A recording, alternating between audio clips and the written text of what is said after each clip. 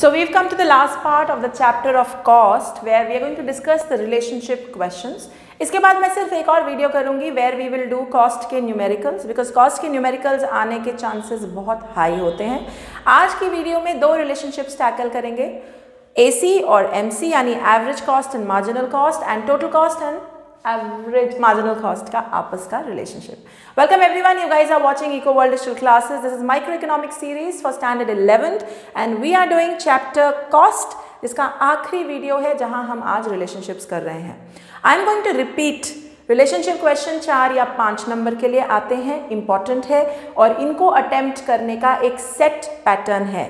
Step number one define with formula वो दो parts जिनकी यू नो रिलेशनशिप पूछी गई है। जैसे अगर ए सी और एम सी की पूछी गई है तो ए सी की डेफिनेशन एम सी की definition with formula step number two table step number three diagram step number four the relationship जैसे वो टेबल और डायग्राम मूव कर रहे हैं, वो आपको लिखना in words is important that is how you get a full four और a five marks okay clear है? चल let's begin so average cost and marginal cost का रिलेशनशिप एवरेज कॉस्ट क्या है? Cost per unit T C by Q marginal cost क्या है?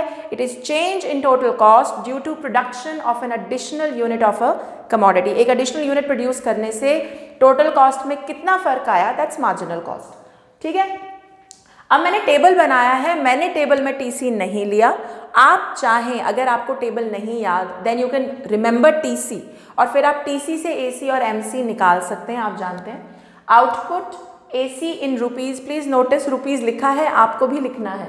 MC in rupees हमने ये टेबल डिराइव कर लिया। हमारा एक्चुअली एसी पहले इन्फिनिटी इसलिए है बिकॉज़ टीसी एसी होता है टीसी बाई क्यू आउटपुट है Q T C by zero anything by zero is infinity इसलिए यहाँ पे मैंने इन्फिनिटी लिखा है। और एम सी नील इसलिए है क्योंकि आउटपुट आपका ज़ीरो है। जब आपका आउटपुट ज़ीरो है तो टोटल कॉस्ट तो सिर्फ़ फिक्स्ड कॉस्ट रही होगी, यानी कोई चेंज है ही नहीं। तो हम एम सी डिराइव नहीं कर सकते क्योंकि चेंज कैलकुलेट करने के लिए पिछला एक यूनिट होना चाहिए ना। कुछ पहले होना चाहिए, कुछ बाद में होना चाहिए। तभी हम चेंज कैलकुलेट कर सकते हैं। तो वो नहीं है, इसीलिए एम सी निल है। उसके बाद हमने फिगर्स डाली हैं और डायग्राम बनाई है ए सी एम सी ए सी का कर्व आप मेरी पिछली वीडियो से जानते हैं is a U shaped curve M C is also a U shaped curve but it is more like a Nike curve मतलब एम सी का जो मिनिमम पॉइंट है ना, वो पहले आता है ए सी से। यहाँ पे एक बात खास ध्यान रखें। M C is a faster curve marginal cost curve is a faster curve जल्दी जल्दी बढ़ता है, इसीलिए जल्दी घटता है, जल्दी मिनिमम रीच करता है और जल्दी राइज करता है। जब ये घटता है और मिनिमम पहुँचता है एसी अभी घट ही रहा होता है। So A C is an average cost curve it moves slowly marginal cost curve is a quick curve फटाफट गिरता है मिनिमम होता है और फिर वापस राइज करता है। टेक्निकली दोनों ही यू शेप कर्व्स हैं लेकिन like I always told you M C is more like a Nike curve लिखना मत समझने के लिए it's more like a Nike curve ठीक है? ये देखो ना ये घट रहा है फिर मिनिमम पहुँच रहा है फिर राइज कर रहा है। और, और वर्सेस दिस सी देखो आराम आराम से चल रहा है। ठीक है? अब रिलेशनशिप लिखनी है तो मैंने पहले भी समझाया था खाली टेबल देखो। टेबल को देखते देखते जो लग रहा है दोनों कर्व्स बढ़ रहे हैं घट रहे हैं इक्वल हो रहे हैं वो लिख दो।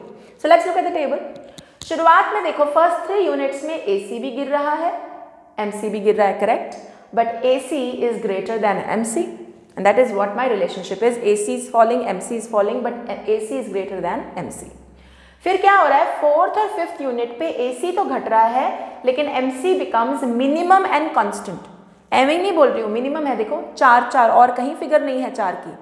It's minimum and constant so I am going to write this only I say M C is minimum A C is falling लेकिन ए सी अभी भी एम सी से ज़्यादा है. A C is greater than M C आगे seventh and eighth unit पे A C minimum and constant हो रहा है, लेकिन एम सी अब बढ़ने लग गया है छः से आठ हो गया है, और A C is equal to M C हो रहा है ऑन एट्थ यूनिट समझ में आ गया?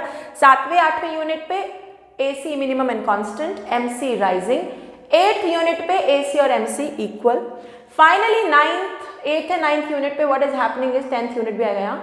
What is happening is M C is rising A C is rising but M C is greater than A C क्योंकि मैंने अभी कहा कि एम सी का कर्व तेज़ी से बढ़ता है ए सी स्लोअर है so M C is faster than A C clear हो गया रिलेशनशिप सिमिलरली टी सी और एम सी का रिलेशनशिप करना है तो वही दोनों को डिफाइन करो फॉर्मूला के साथ।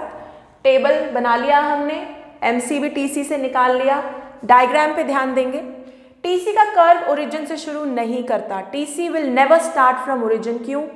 टोटल कॉस्ट में एक बिचारी कॉस्ट ना हमेशा बैठी रहेगी। Total fixed cost total cost में दो कॉस्ट होती हैं। Total fixed cost total variable cost total variable cost वो जो प्रोडक्शन से इंपैक्टेड होती है। तो अगर प्रोडक्शन ज़ीरो है टीवीसी भी ज़ीरो है। लेकिन टीएफसी रेंट तो देना ही पड़ेगा ना, चाहे तुम्हारा काम चले ना चले। तो टोटल कॉस्ट कभी ओरिजिन से नहीं शुरू करेगी, क्योंकि ओरिजिन का मतलब है, जो भी कर ओरिजिन से शुरू करे ना, उसका मतलब है वो ज़ीरो से शुरुआत हो रही है। बट टोटल कॉस्ट ज़ीरो से नहीं शुरू होती, इसीलिए वो थोड़ा ऊपर से शुरू होगी। और इसी के कॉरेस्पॉन्डिंग नीचे एमसी का नाइकी कर रिलेशनशिप बहुत सिंपल है। जब टीसी पहले डिमिनिशिंग रेट पे बढ़ता है टीसी टोटल कॉस्ट पहले धीमे धीमे बढ़ता है, तब मार्जिनल कॉस्ट कम हो रही है। क्यों?